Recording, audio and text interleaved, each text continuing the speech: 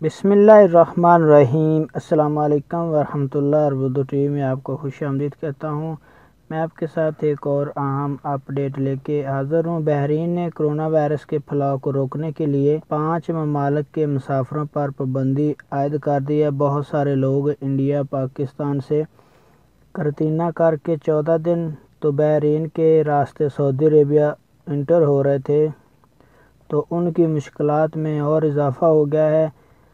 آج اتوار تیئیس مئی دو ہزار اکیس سے بحرین نے ایک ریڈ لسٹ جاری کی ہے جو آپ اسکرین پہ دیکھ رہے ہیں، جس میں پانچ ممالک کے ناموں کا اعلان کیا گیا ہے، جن پر پابندی لگا دی ہے۔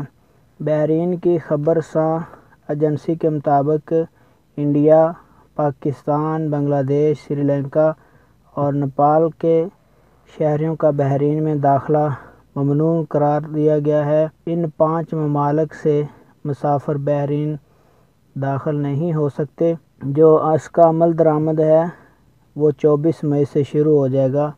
آج اعلان ہوا ہے، کل سے اس کا عمل درآمد شروع ہو جائے گا۔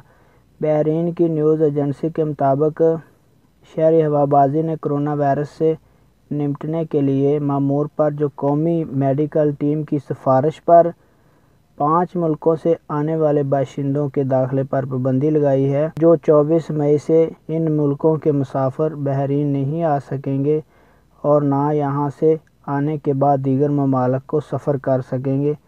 تو فرینڈز، بحرین کے حکام نے یہ بھی کہا ہے کہ اس پابندی سے بحرینی شہری اور مؤثر اقامہ ہولڈر مستثنا ہیں یعنی اس جو پابندی لگائی گئی ہے، اس میں جو بحرین کے شہری ہیں، وہ بحرین آ سکتے ہیں، جو بحرین کا اقامہ رکھتے ہیں وہ بھی آ سکتے ہیں۔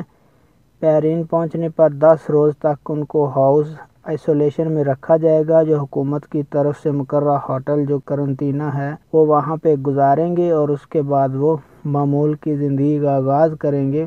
بحرین کی حکومت کا کہنا ہے کہ شہریوں اور مؤثر اقامہ ہولڈر کو طیارے پر سوار ہونے سے قبل P C R test certificate پیش کرنا ہوگا۔ اور بحرین پہنچنے پر ٹیسٹ کرانا ہوگا۔ اس کے بعد دس روز ان کو کرنطینہ کرنا ہوگا۔